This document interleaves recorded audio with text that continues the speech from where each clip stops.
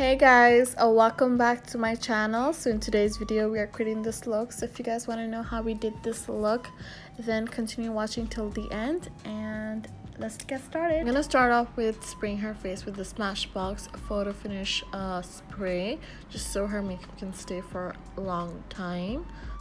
Next i'm gonna use the luminous primer by dr brandt and that's gonna be our primer base so I'm going to start off with Urban Decay Prime Eyeshadow Primer and that's going to be our base of course. Next up would be taking my Rouge palette. I'm going to take the shade Wamp and then that's going to be our transition shade that goes to the crease area. Taking this light purple shade from Carli Bybel palette, I'm going to put that onto her lids.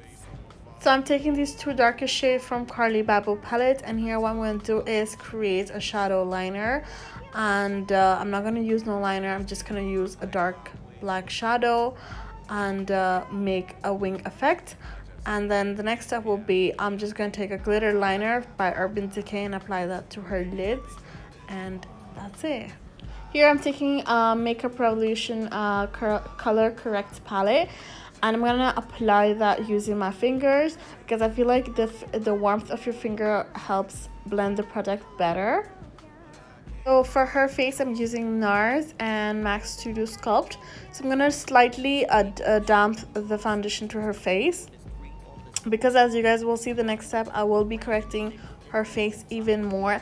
And I don't want her face to look like overly done, like too much foundation. Here I'm taking the Tarte Shape Tape concealer and I'm just going to be applying it under her eyes.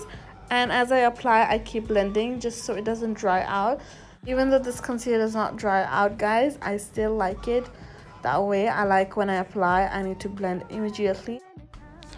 So to contour her face i'm using the gosh a liquid contour. And uh, as you all know i like to contour a little above the jawline. Sorry the i always say jawline.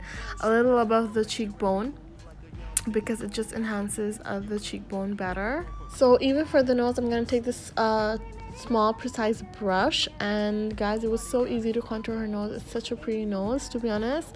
And I'm gonna take a beauty blender and start blending all of that into her skin. Once the blending is done I'll start to set her under eye her forehead her nose and all of that. And I'm taking the Makeup Revolution uh, banana powder luxury banana powder.